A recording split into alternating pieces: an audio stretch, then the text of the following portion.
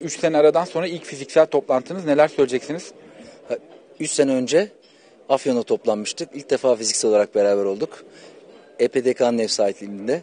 Ben bütün sektörün katılımcılarına, EPDK başta olmak üzere bakanlığımıza ve ilgili kurumlara katılımları için çok teşekkür ediyorum.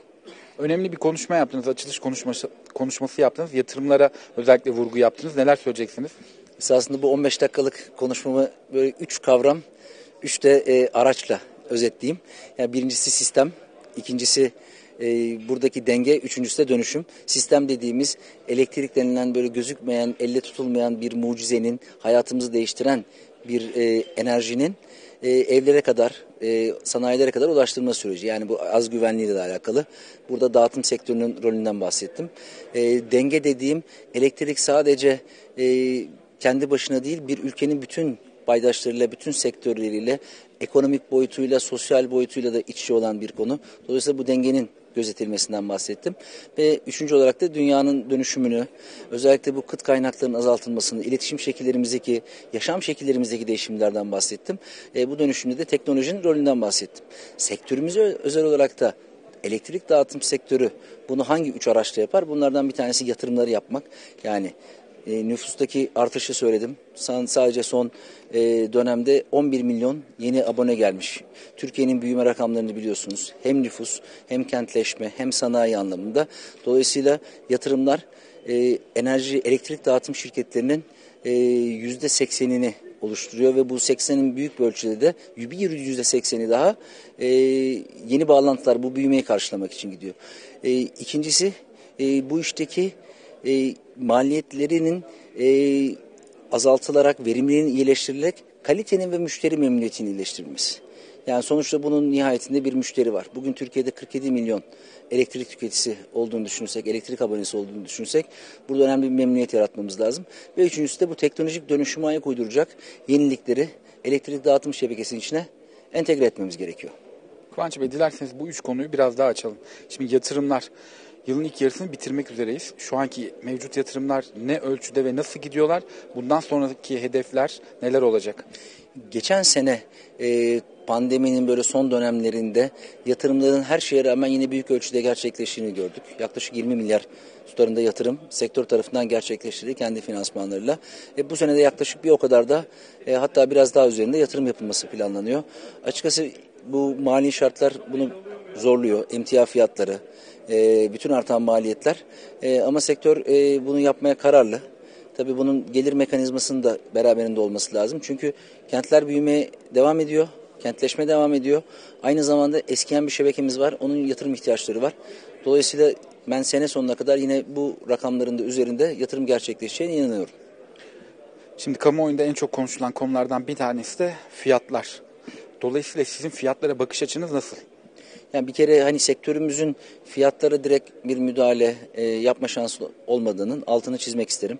Yani fiyatlardan bağımsız sonuçta bir hizmet veriyoruz ve sadece hizmetin bedeli o fiyatların içinde küçük bir komponent olarak duruyor. Fiyatların artışındaki e, en önemli sebep enerjinin üretimindeki ve e, o enerjiyi üretmek için tedarik edilen başta doğalgaz ve kömür gibi emtiaların artış fiyatları. Bu bütün dünyada da böyle. E, bunun tabi alım gücüyle eşleşmesinde problem yaşıyoruz. Yani çünkü bu artan maliyetler kadar alım gücümüz artmıyor.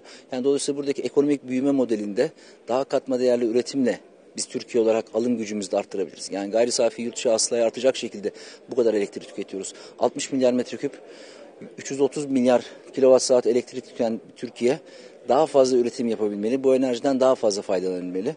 Ee, ve diğer bir konuda elektriğin maliyetini tüketicilerimizin üstlenmesi Yoksa biz bunu 84,5 milyona bölelim yani sübvanse mi edelim konusu gibi esasında bir e, devletlerin tercihleri oluyor.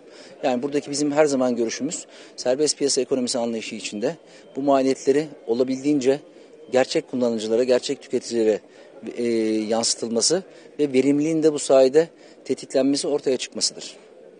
Peki şu an itibariyle şirketler bu konuda zarar mı ediyorlar? Yani bugün e, sektörde ciddi bir şekilde nakit problemi var.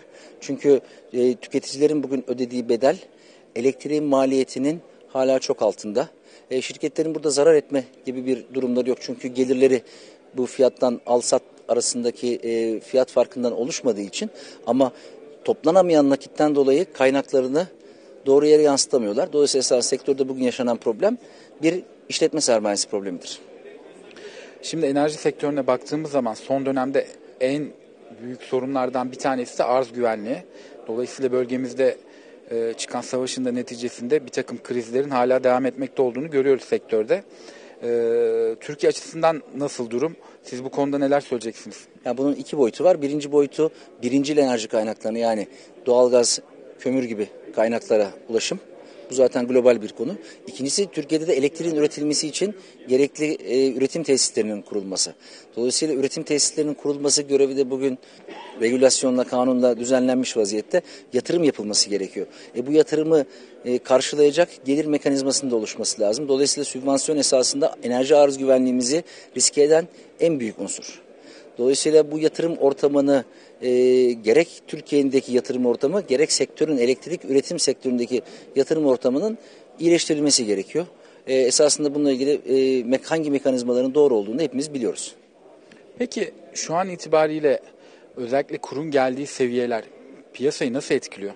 Yani bütün direkt olarak maliyetleri etkiliyor. Çünkü bugün e, emtia dediğimiz elektriğin esasında ham madde istediğimiz doğal gaz ve e, kömür fiyatları uluslararası boyuta e, dövize bağlı.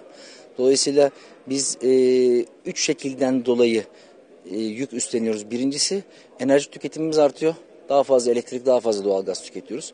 İkincisi tükettiğimiz doğal gazın e, maliyeti artıyor. Yani evvelden dolar bazında yine olan fiyat bugün dolar olarak 2-3 misline yakın ulaşmış vaziyette.